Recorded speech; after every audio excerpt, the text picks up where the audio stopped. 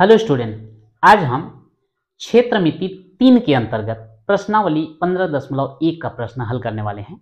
मैं हूँ परमानंद पटेल। स्वागत है आपका आपके अपने channel P N Patel classes पर। तो आइए देखते हैं प्रश्न। इस प्रश्नावली का प्रश्न हल करने के पहले उम्मीद करता हूँ कि आप इसका इंट्रोडक्शन वीडियो देख चुके होंगे और इसमें जो भी सूत्र का प्रयोग होने वाला है वो सूत्र आप याद कर चुके होंगे। आइए देखते हैं प्रश्न। रिक्त स्थानों की पूर्ति कीजिए।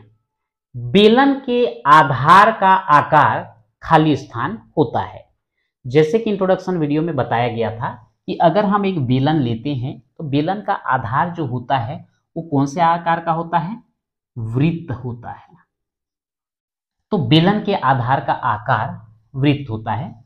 बेलन के आयतन का सूत्र, बेलन के आयतन का सूत्र होता है पाई आर स्क्वेयर एच बेलन की त्रिज्या व ऊंचाई प्रत्येक सात सेंटीमीटर है तो बेलन का आयतन खाली स्थान होगा। अब बेलन के आयतन का सूत्र तो यहाँ पर दिया गया है। पाई आर स्क्वेयर एच मान रख दीजिए। पाई का मान होता है बाईस बटे सात। त्रिज्या सात सेंटीमीटर बोला गया है तो सात का वर्ग। ऊंचाई ये भी सात सेंटीमीटर बोला गया है तो ये सात एकम और ये सात एकम कट गया। तो ये बाईस गुणित सात गुणित सात यानी कि सात सत्ते उनचास, दोनों का गुणा कर दीजिए। नौ दूनी अट्ठारह का आठ हासिल एक, नौ दूनी अट्ठारह और एक उन्नीस, चार दूनी आठ, चार दूनी आठ, ये आठ, नौ आठ सत्रह का सात हासिल एक आठ और एक नौ और नौ और हासिल के साथ दस। कितना आया?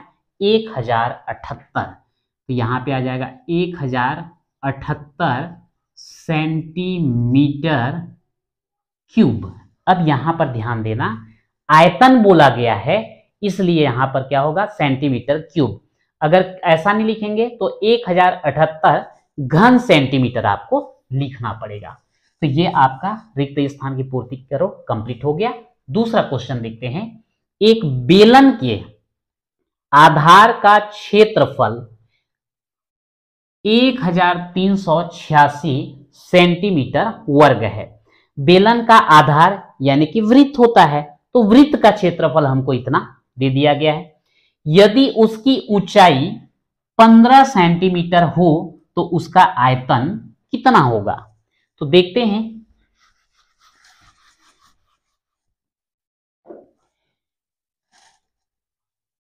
अगर हम एक बेलन ले रहे हैं, या ऐसा बेलन हो गया तो ये जो बेलन का आधार होता है, ये वाला, ये कैसा है? वृत्त है। और इसका क्षेत्रफल कितना हमको दे दिया गया है? एक हज़ार तीन सौ छियासी सेंटीमीटर वर्ग। तो यहाँ पर हम लिखेंगे, माना बेलन के आधार की त्रिज्या आर व ऊंचाई एच है।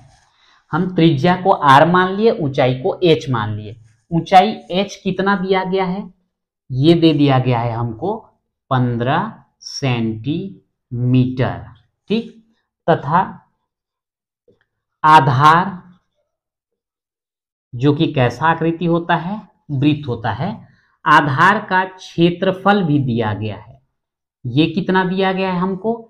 एक हज़ार तीन सौ छियासी सेंटीमीटर वर्ग। तो ये वृत्त का आ, मतलब आधार जो बेलन का जो आधार होता है जो वृत्त की आकृति का होता है उसके क्षेत्रफल का सूत्र क्या होगा? पाई आर स्क्वेयर बराबर एक हज़ार तीन सौ छियासी। मान रखिए, पाई का हो जाएगा बाईस बटे सात, गुणित आर का वर्ग, बराबर एक हज़ार तीन सौ छियासी।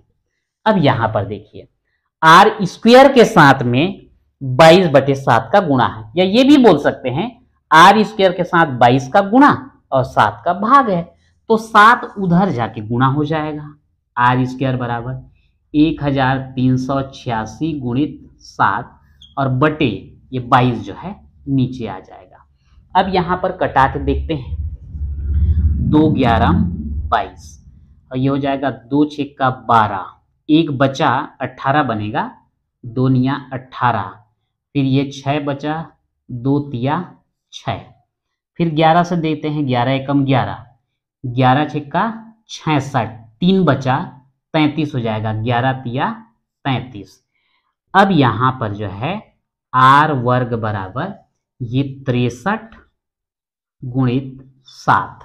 अगर हम चाहें तो ये स्क्वायर को हटा देंगे तो इधर क्या बन जाएगा? रूट बनेगा। और हमको पता है आर बराबर, इसको हम लिख सकते हैं नौ गुणित सात, तिरसठ को, और यहाँ पर है गुणित सात। तो इसमें अगर हम आगे बढ़ाएँ, आर बराबर, नौ का वर्गमूल कितना निकलेगा? तीन। ये सात और सात का पेयर बन गया है तो ये क्या निकलेगा? सात। तो आर बराबर कितना हुआ? तीन सत्ते इक्कीस सेंटीमीटर। यानी कि त्रिज्या हमको कितना मिल गया? 21 सेंटीमीटर। ऊंचाई कितना है? 15 सेंटीमीटर। अब ये दोनों का उपयोग करके हम क्या ज्ञात कर लेंगे? बेलन का आयतन। यहाँ पर मैं मिटा रहा हूँ इसको। तो अब लिख देंगे बेलन का आयतन। क्या होता है सूत्र इसका? Pi R square H. Pi बाईस बटे सात। आर कितना? अभी हमको मिला है इक्कीस। इसका हो जाएगा वर्ग। एच कितना? पंद्रह। ठीक है? ये हो जाएगा आपका बाईस बटे सात गुणित इक्कीस का वर्ग है तो दो बार लिखेंगे, इक्कीस बट इक्कीस गुणित इक्कीस बटे एक कर देता हूँ ताकि कंफ्यूजन न रहे। गुणित पंद्रह बटे एक। कटेगा तो कटा दो। सात एकम सात और ये हो जाएगा सात या इक्कीस। ठीक? अब यहाँ पर जो है, गुणा बस करना है आपको। तो ये बाईस गुणित तीन तो बाईस दिया हो जाएगा छसठ। गुणित इक्कीस गुणित पंद्रह। गुणा कर दीजिए, बाकी जो है आ जाएगा।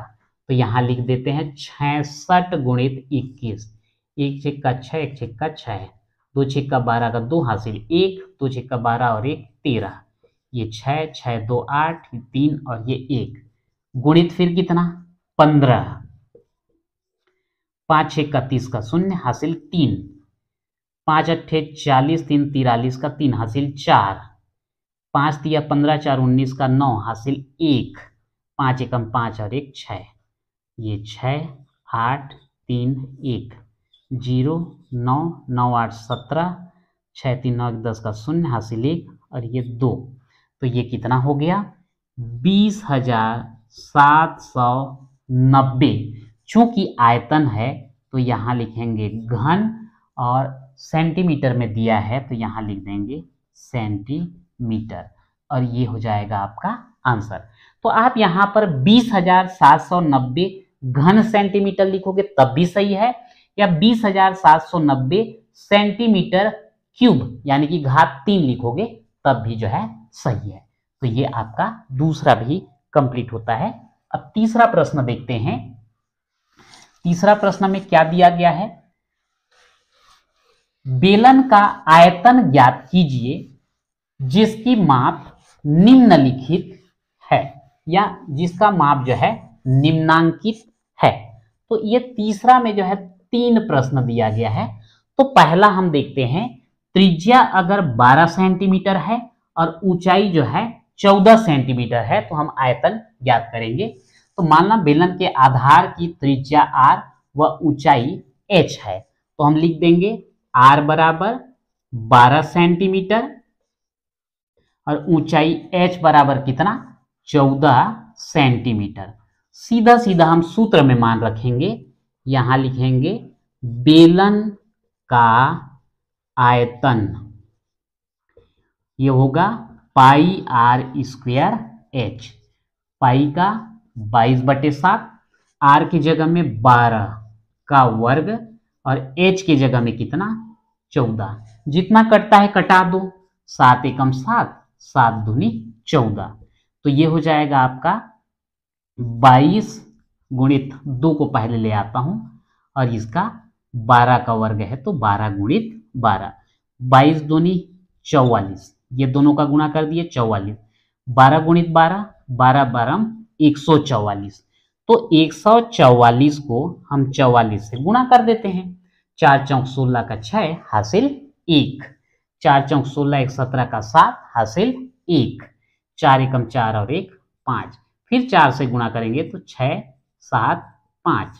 यह आपका छः छः और सात, तेरह का तीन, हासिल एक। सात, पाँच, बारह, एक, तेरह का तीन, हासिल एक। और ये पाँच और एक, छः। कितना आ गया? छः हज़ार तीन सौ छत्तीस घन सेंटीमीटर। और ये जो है आपका बेलन का क्या आ जाता है? आयतन आ जाता है। तीसरा का ही दूसरा देखते हैं। अगर त्रिज्या दो दशमलव आठ सेंटीमीटर और ऊंचाई जो है पाँच सेंटीमीटर दिया है, तब हम क्या करें? तो माना बेलन के आधार की त्रिज्या आर और ऊंचाई एच है तो त्रिज्या आर बराबर हम लिख देते हैं दो दशमलव आठ सेंटीमीटर और ऊंचाई एच बराबर लिख देते हैं पाँच सेंटीमीटर। तो हमको यहाँ पे मिलेगा बेलन का आयतन। एक बात बता दूँ आपको कि जितने भी प्रश्न बन रहे हैं सेम मेथड है। लेकिन कैलकुलेशन में आप गलती मत करना और वही चीज़ जो है आपको सीखना है, इसलिए जो है आपको पूरे क्वेश्चन को अटेंड करना है। आर का मान कितना? दो दशमलव आठ का वर्ग गुणित एच कितना? पाँच। अब इसके पहले वाले में, जैसे बारह का वर्ग आया था तो बारह गुणित बारह कर दिए, बारह बारह एक सौ चौवालीस। लेकिन यहाँ पर जो है दो दशमलव आठ का वर्ग आ गया। अब यहाँ पर जो है बोलोगे कि आपको सूत्र याद है, आप आसानी से कर सकते हैं। तो यहाँ पे फिर मिस्टेक करने का चांस बढ़ जाता है। बाईस गुणित सात, इसको हम लिखेंगे दो दशमलव आठ गुणित दो दशमलव आठ और गुणित में पाँच। तो यहाँ क्या करेंगे? देखो, ये दशमलव को हटाना है तो उसके लिए बटे में हम क्या लिखते हैं? एक। और दशमलव के बाद एक अंक है तो यहाँ पर हम एक ज़ीरो लगा देते हैं और यह आपका दशमलव हट जाता है। क्या बन जाता है? अट्ठाईस बटे दस। सेम यहाँ पर भी बनेगा। दस करेंगे तो ये जो है हट जाएगा। तो यह आपका बाईस बटे सात गुणित अट्ठाईस बटे दस गुणित अट्ठाईस बटे दस गुणित पाँच हो गया।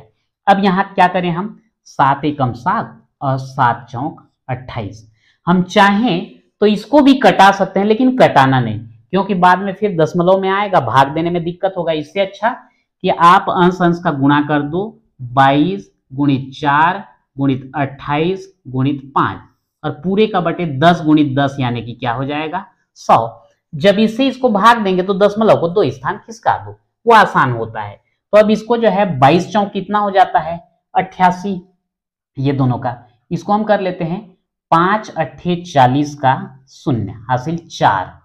और पाँच दूनी दस और चार चौदह, ठीक है? ये दोनों का गुणा किए तो 140 आया। इन दोनों का गुणा करेंगे तो आएगा अट्ठासी। अब पूरे का गुणा कर दो। आठ शून्यम, आठ चौक बत्तीस का दो हासिल तीन, आठ एकम आठ और तीन ग्यारह, ठीक है ना? आठ चौक बत्तीस का दो हासिल तीन, आठ एकम आठ तीन ग्यारह, ठीक? फिर आठ से गुणा करोगे तो वही आने वाला है। तो ये zero, two, three, two, one. कितना आया भाई? बारह हज़ार तीन सौ बीस बटे कितना? सौ। यही बोल रहा था कि अब यहाँ पे दो ज़ीरो है तो ये दशमलव यहाँ जो है दो स्थान इधर खिसक जाएगा। मतलब कितना हो जाएगा ये? एक सौ तेईस दशमलव दो शून्य घन सेंटीमीटर। और ये जो है आपका आंसर बन जाता है। तो यही कैलकुलेशन में थोड़ा ना थोड़ा आगे पीछे होता है।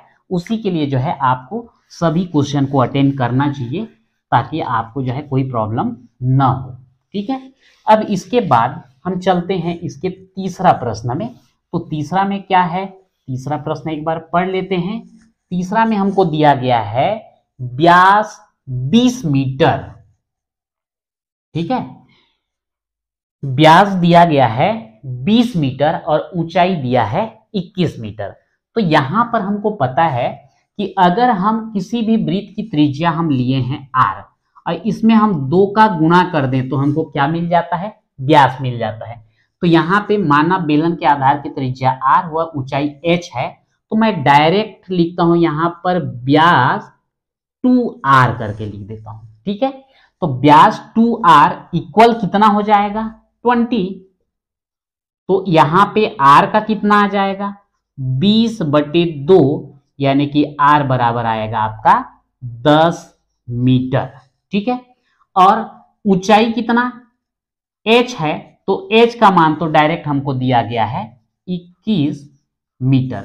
अब इसके बाद जो है, आप सूत्र में मान रख दीजिए बेलन का आयतन।